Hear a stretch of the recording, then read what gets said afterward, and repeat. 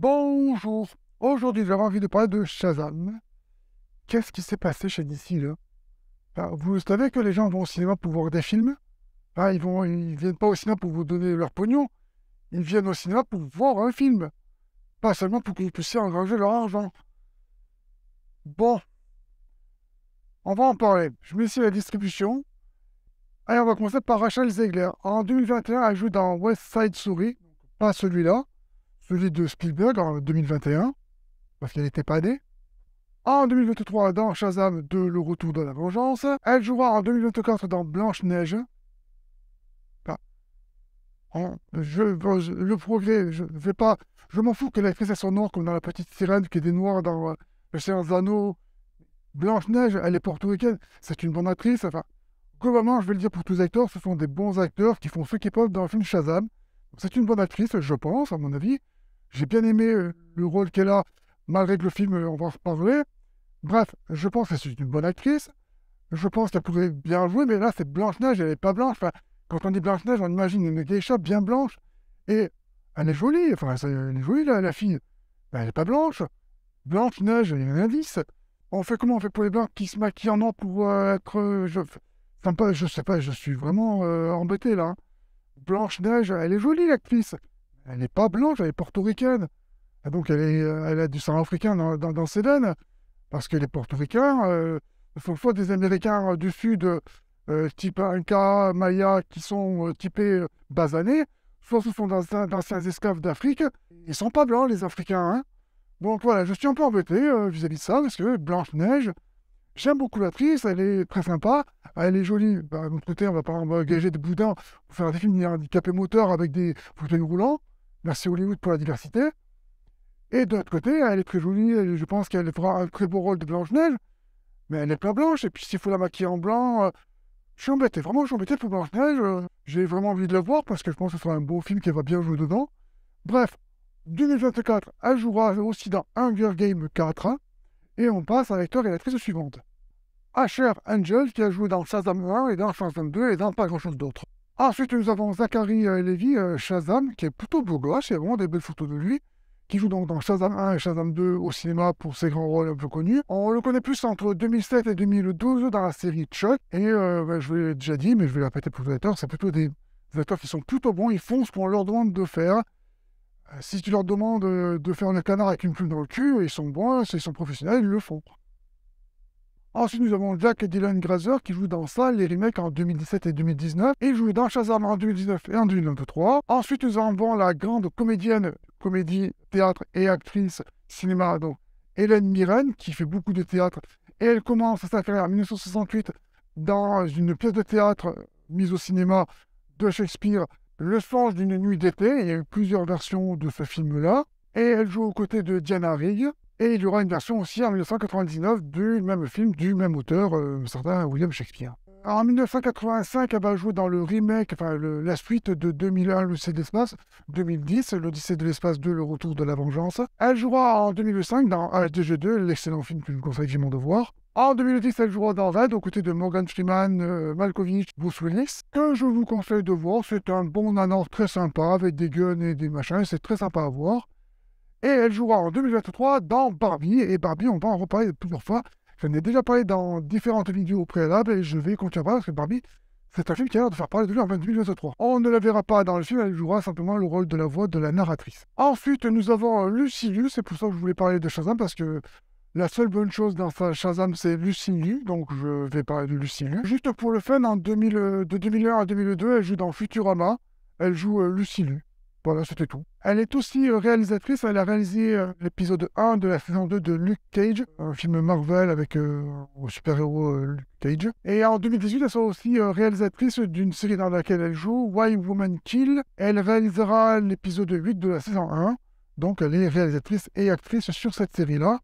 Et euh, donc, elle fera un épisode. Donc, sa carrière démarre en 1992 dans Rhythm of Destiny de Andrew Lowe. Je cite Andrew Lowe parce que c'est une personne qui est importante. Il a fait les films Infernal Affair qui sont plutôt connus dans la pop culture et le film Initial D qui est un live action de la série télé et du manga Initial D, avec la fameuse euh, Toyota Sprinter Trueno. En 1991, elle aura un petit rôle dans Juju Coupable de Clint Eastwood, et ce sera un tremplin pour elle parce qu'elle pourra jouer en 2020 dans Charlie Angels. Charlie, c'est drôle de dame en français, réalisé par un certain MCG qu'on a déjà vu quand on a parlé de Kevin Costner dans Les Figures de l'Homme, dans Three Days of Kill, qu'on a aussi euh, quand on a parlé de Vortex avec Thomas Sisley, et euh, aussi avec Samara Weaving dans Babylone parce qu'elle a joué avec lui dans euh, Babysitter. Elle joue en 2003 dans Cypher de Vincenzo Nepali.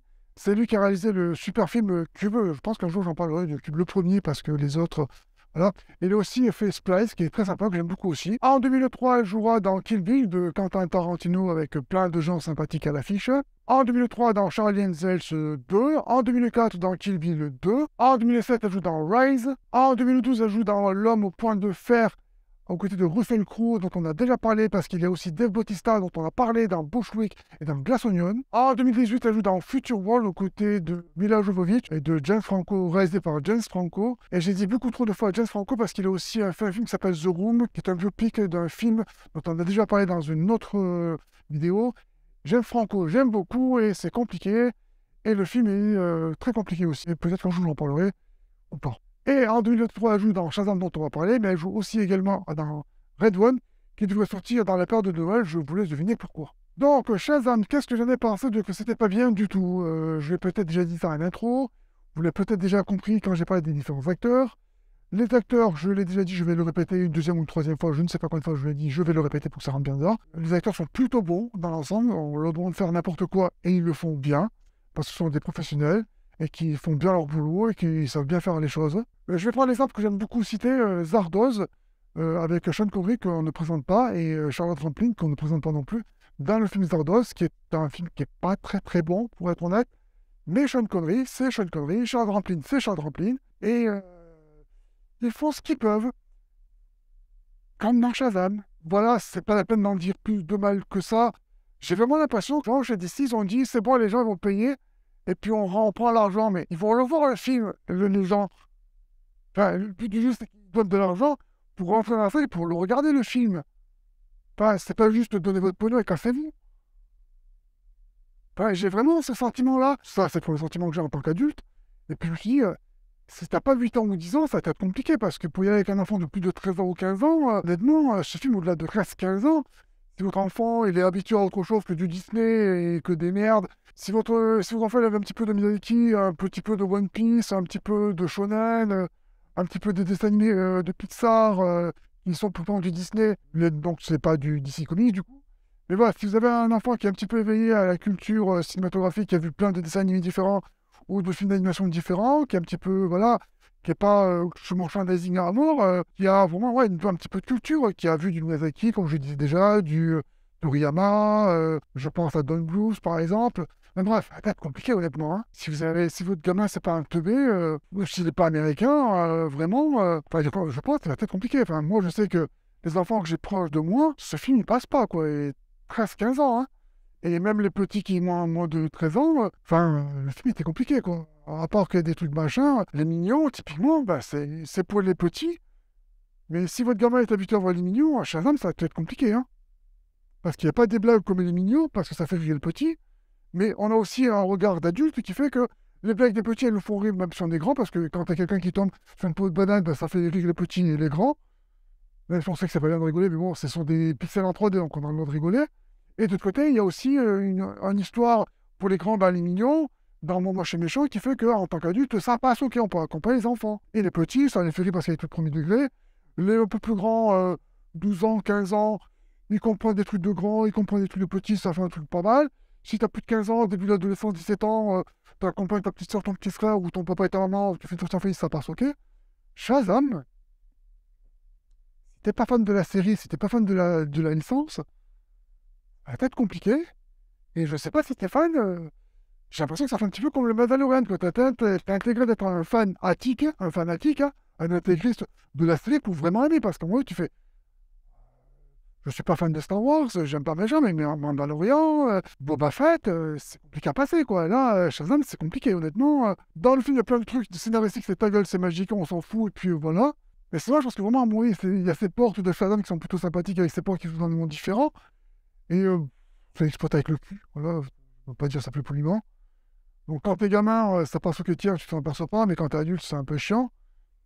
Et euh, le dôme magique, enfin, il y a vraiment des économies de bout de ficelle. C'est ce que je reprochais aussi avec euh, Black Adam, où on a des effets spéciaux comme dans Black Adam qui sont hyper machin, et puis de temps en temps, on tourne dans un petit coin de studio, souvent le parking machin, parce qu'on économise des sous. Donc on dépense des sous sur des gros effets spéciaux, puis après on économise des sous de l'autre côté. Ce que fait exactement Black Adam d'ailleurs, c'est un petit peu le même reproche que ben, on a des effets spéciaux qui sont un petit peu les mêmes parce qu'on les a développés. Effectivement, les effets spéciaux de Black Adam, on retrouve une technologie dans Shazam, ou l'inverse, je ne sais pas trop dans quel ordre ça s'est fait. Et puis on retrouve sinon que ben, euh, il faut aller une thune pour faire les effets spéciaux.